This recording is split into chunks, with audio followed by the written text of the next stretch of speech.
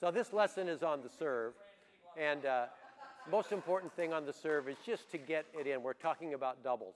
If, if this was a singles lesson, we would be wanting to serve hard, deep, top spin. Um, it is nice to have a variety of serves. Learn how to hit some short ones, some lob serves. But whatever you do, just make sure you can get your serve into the court. One of the easiest ways to practice your serve is just to get a big bucket of, of balls and just get your serves in. Just practice. And if you want to, practice a variety of serves. Not a bad thing to practice a backhand serve.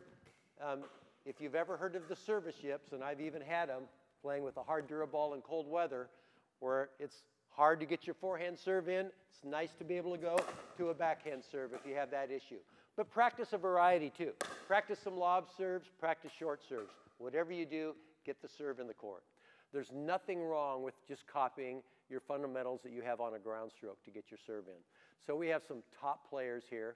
We have Bonnie Williams, Kurtis Campbell, Tony Tollenaar, and Randy Bither. We're going to watch them on their serves. You have a famous serve. Everybody loves your, your, she's got one of the best singles deep topspin serves. See how it's deep and it's yeah. coming at them?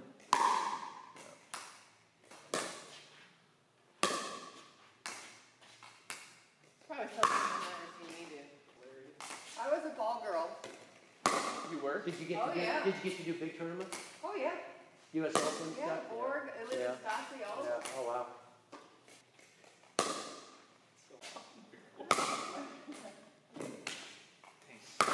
come up with like shortest one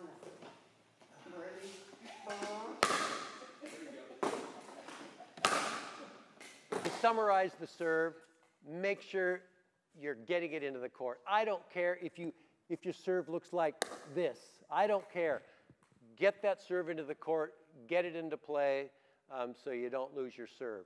Um, it's very easy, though, just to copy your nice ground stroke. That is a legal serve. People think, well, it's sidearm, it's not legal. No, it has an upward motion. So do whatever you can to get your serve in. And it's always good to learn how to throw in a lob serve. That can throw people off. And to also hit some short serves. But whatever you do, get your serve in. So everybody does need to know what constitutes a legal serve. Um, the rules are a little bit complicated. This is one of the areas uh, I don't agree with on, on, rules.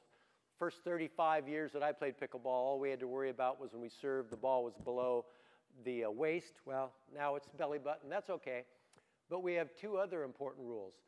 Right now, we can't have any part of the paddle above our wrist when we serve. So right now, this is actually an illegal serve because the paddle is above my wrist. I disagree with that, but that is a rule. So make sure all the paddle is below your wrist joint at impact.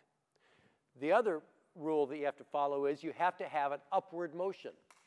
The only thing is that's really hard to determine too because it only has to be one degree upward. So if I'm serving this way, this would be legal, this would be illegal. Very hard to see when the ball is going fast. Uh, of course, our feet, both feet have to be behind the line, and we have to have at least one foot um, uh, on the surface of the, the ground behind the baseline. So the three things to remember are contact be, um, below the belly button, a slight upward motion, and no part of the paddle can be above our wrist. So this would be a legal serve. I'm just copying my forehand when I serve this. This would be a good time for me to talk about what I think the rule should be. And I think the rule should be, be, just to make it simple for the referee, is we drop the ball and then hit it off the bounce. I can hold this ball up as high as I want, no matter how tall I am, it's never going to bounce as high as my waist.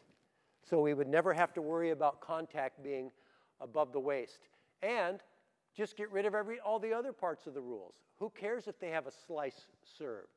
So I could just drop it and hit it like that. It's actually much easier for beginners to learn that way anyway. I know we have a lot of people that have learned, spent so much time learning how to do this, and they don't want to change. I understand that people hate change. But this makes so much more sense. All a ref would have to look at is, is it a legal drop or not? I could serve backhand, I could even have a two-handed backhand if that rule were allowed. So that's my suggestion.